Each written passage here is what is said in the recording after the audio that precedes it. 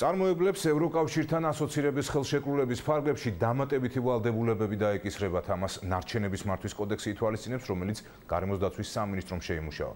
პროექტის მიხედვით წარმოებლებს საკუთარი პროდუქციის ნარჩენის, მაგალითად პოლიეთილენის შუშის და ალუმინის ბოთლების მეორადი გადამუშავება ევალებათ. კანონ პროექტის დეტალები ჯერ კიდევ დამუშავების პროცესშია. ნათია ორველაშვილი დეტალებით. პოლიეთილენის პარკები, შუშის და პლასტმასის ბოთლები, ალუმინის ქილები, ქუჩაში, ტყეში ან მდინარეში. ამ სურათს საქართველოში ხშირად ნახავთ. გარემოს დაცვის სამინისტროში მიაჩნიათ, რომ ვითარება ნარჩენების მართვის კოდექსმა უნდა შეცვალოს. იხდის ის, ვინც ანაგვიანებს, ასეთია მინისტრის მოადგილის თქმით, მსოფლიოში აპრობირებული პრინციპი და სამინისტროს პოზიციაც.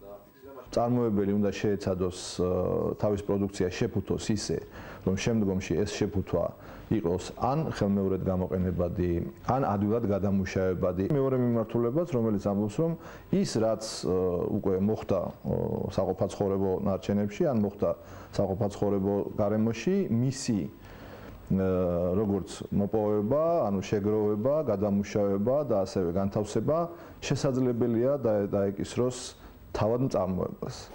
ჯერჯერობით უცნობია, რა სანქციები შეიძლება დაეკისროთ მწარმოებლებს კანონის დარღვევის შემთხვევაში. კანონმდებლები პროექტის დეტალებზე მუშაობის პარალელურად რეგულაციების დაწესების აუცილებლობაზე საუბრობენ.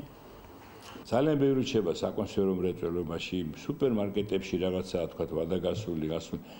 ეს ყველაფერი არ უნდა იყრებოდეს, ამას უნდა კონდეს გადამუშავების საშუალება, რომელიც მოუთანს ძალიან დიდ ეფექტს სოფლის მეურნეობისთვის. ამან არ უნდა დააფრთხოს ჩვენი მეწარმე, ჯერ ესეთი გვადებია, საკმაოდ ხანგრძლივი აღებული და ახლა 6-7 წლის თავზე მოქმედდება საბოლოოდ კოდექსის ყველა ფუნდამენტური პრინციპი. ჩვენ გვექნება უკვე მყარი სამართლებრივი ბაზა, რათა ამ პრობლემას მივხედოთ სხვანაირად, არა ქართულად, არამედ მივხედოთ ევროპულად.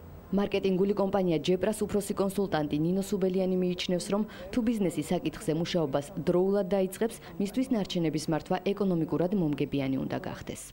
ეს გულისხმობს არა მხოლოდ ფინანსურ, არამედ საორგანიზაციო კუთხით პასუხისგებლობის აღებას ნარჩენების მართვაზე. საკმაოდ რთული პროცესია. მეზობელი ქვეყანა რო ავიღოთ თურქეთი 14 წელი დასჭირდათ იმისთვის, რომ დღესდღეობით თქვათ ეფექტურად თუ იმართება ნარჩენების მიმართულება თურქეთში, ამისთვის მათ 14 წელი გაიარეს, რაც მოიცავდა დიდ საინფორმაციო კამპანიას არაერთს, რაც მოიცავდა ბიზნესთან დიალოგს.